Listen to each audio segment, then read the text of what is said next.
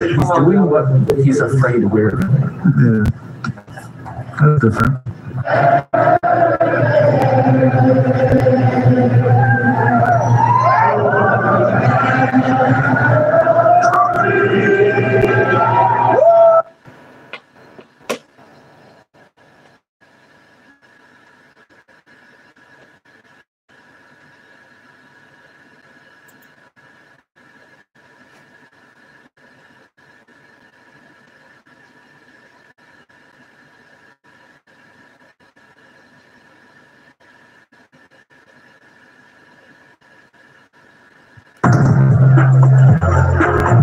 This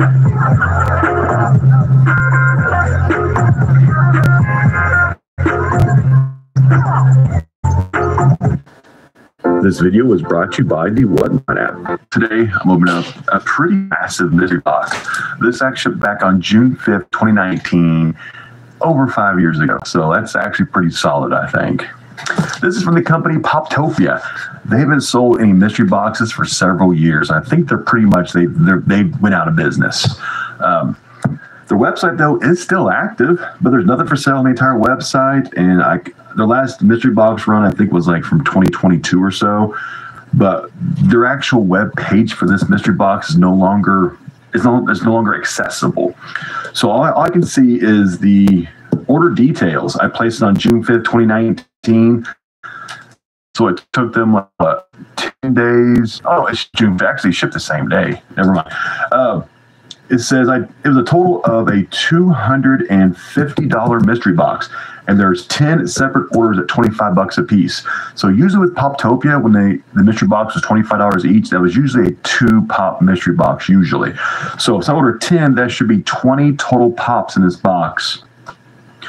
Um, great big box, 20 total pops. So it breaks down like 12.50 a pop. You're pretty much paying retail. Of course, I have no idea what the big hits were because I can't see the page anymore.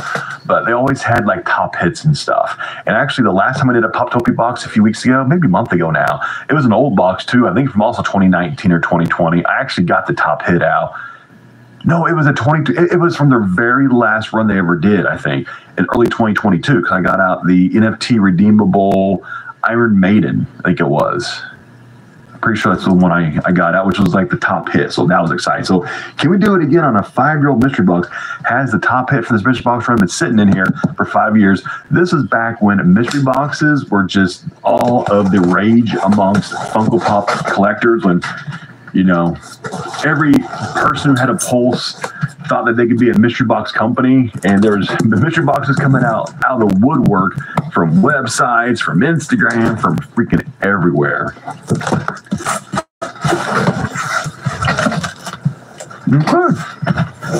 How's this up? So there's like the inside.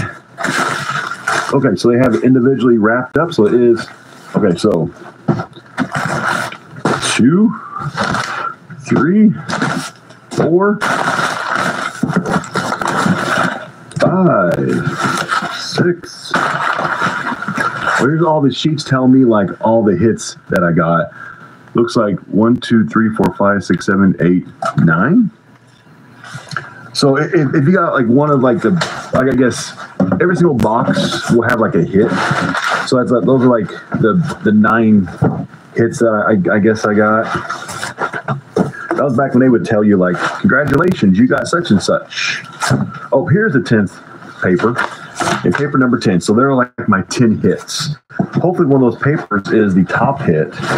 This one is in a pop protector. So that's the hits. That's in a protector.